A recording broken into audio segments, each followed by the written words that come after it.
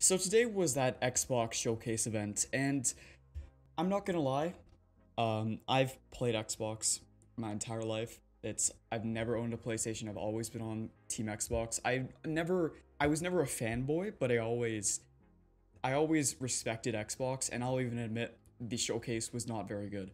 Like not even in comparison to like the Sony event or anything like that. Just in general, it was quite I guess underwhelming just because of what was shown was not really that impressive.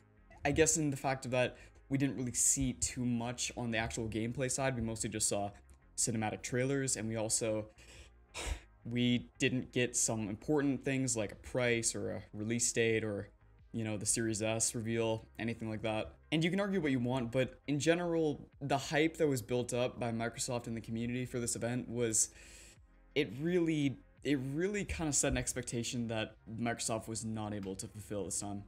But one thing I keep seeing on Twitter, on YouTube, all over, and I really, I guess, find hard to believe is this idea that Microsoft, or not Microsoft, I guess, Microsoft's gonna be fine, but Xbox is dead because of this event. They're they're done for. Like there's no point. They might as well just cancel their console and just and just stop and st- just stop making consoles from this point on. Okay, that's that may be putting a little bit of sarcasm on that, but essentially the idea is that a lot of people are saying that Microsoft is likely not going to do well this generation because of this event and what they've shown.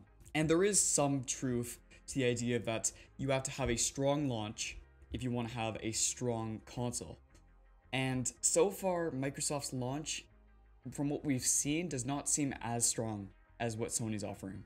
But then again, we've not seen that much. We don't know what the price is because that's going to be a big factor. We don't know what other games are going to be shown because right now all we've really seen are games that are somewhat in development.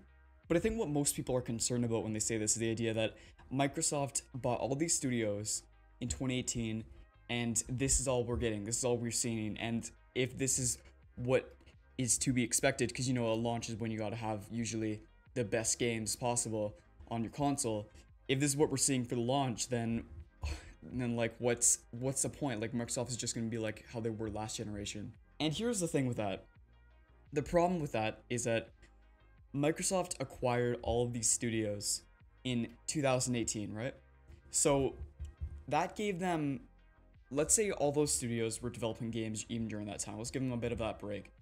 Still, even considering that fact, or that as presumed fact, that doesn't mean that they'll have enough time to get a game polished and ready, even for a gameplay trailer, by a 2020 game showcase.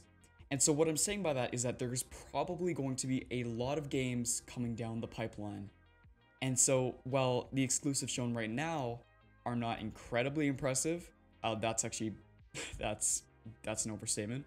We're likely going to see some very impressive stuff that rivals Sony in the years to come. Maybe 2021 at the minimum. Most likely 2022, 2023 is when we'll start to see things really start to ramp up. Because remember, Xbox acquired all these studios in 2018. That was only two years ago. So essentially, what this video I want you to take away from is no, Xbox is not dead. The event was not very good, but they're going to be fine and they can probably still have a successful launch it's just that as of right now, I think a lot of people are looking at what Sony showed and they're like, wow, there's not really much of a reason to get an Xbox. But I feel like that could turn around in the supposed, what, August event, I believe is where they're going to hold it, where they're going to reveal more hardware information like price and release date.